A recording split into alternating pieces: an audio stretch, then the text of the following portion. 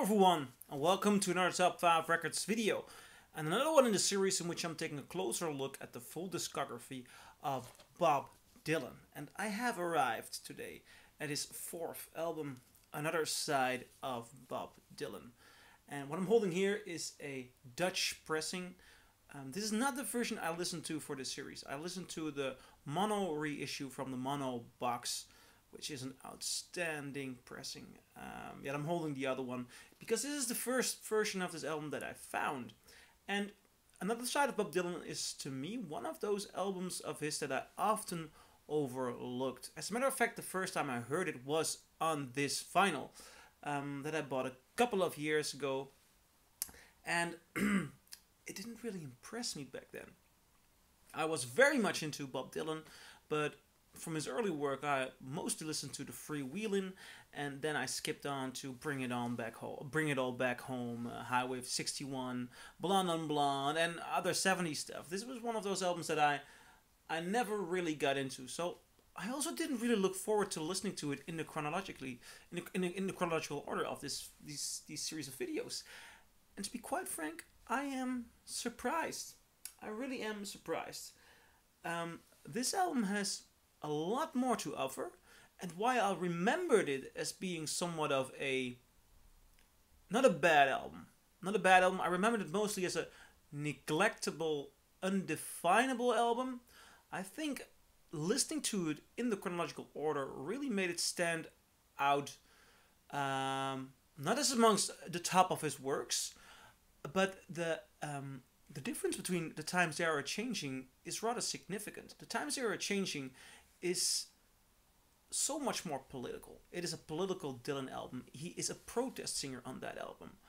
And somehow, although this period in my mind is always one of a uh, somewhat of a protest singer, um, this is not a protest album.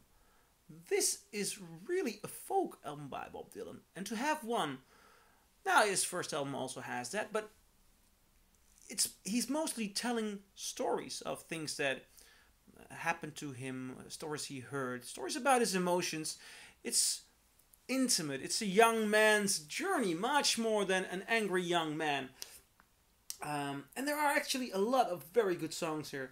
Opening with "All I Really Want to Do," that's that's a very good song. "Black Crow Blues," that's good. "Chimes of Freedom," "I Shall Be Free." I'm sorry, uh, I'm a bit ill.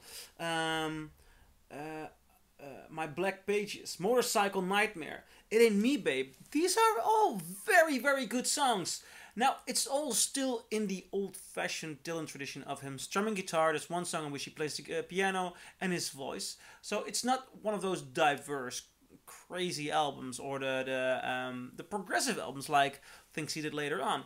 But there are interesting songs. He sings them good and he also sings them to me, it's much more like a troubadour experience. There's a song on here in which he tells the story of uh, sleeping over at a farm, and he has to prom uh, with a girl, but he has to promise his father that he's not gonna do anything to his daughter, and that he's gonna milk the cows in the morning. And uh, uh how the man chases him away, calling him a, a, a communist bastard, and so all sorts of things. It's it gives me an insight into the the world and the pleasures of Bob Dylan um, pleasures, yeah, and uh, adventures somewhat. I really, really started to reevaluate this album on a second and good listen, and also the mono one is so, so good. The full sound of his voice. This is not something to be listened to in stereo. I'm, I'm, i might do a video on that mono versus stereo, but I would not even include this one as one of the first albums to do that. Although it really makes it come to life more. And also, you gotta sit for this. You gotta you gotta sit in front of it. The the, the lyrics are, are the thing to notice. I mean, Bob Dylan mostly gets credits for his lyrics and rather embellished from time to time because I think he also has a beautiful uh, beautiful melodies. His songs are much more than just the lyrics. There is a beautiful melodic quality to them. There is something to the strumming, and there is also something to the atmosphere here he creates. And all right, the atmosphere on here it's it's really good. It's really all right. Um, but this is uh, almost like I'm gonna compare it to to to, to rap or hip hop. That uh, if you're not focused on the lyrics, you're gonna really miss out on what this uh, album has to tell. So this for me has been somewhat of a surprise doing this series. I like it. I like it a lot. Another side of Bob Dylan is a good album. So what do you think? Do you agree? Do you disagree? Leave a comment below and I'll see you in my next video. Bye.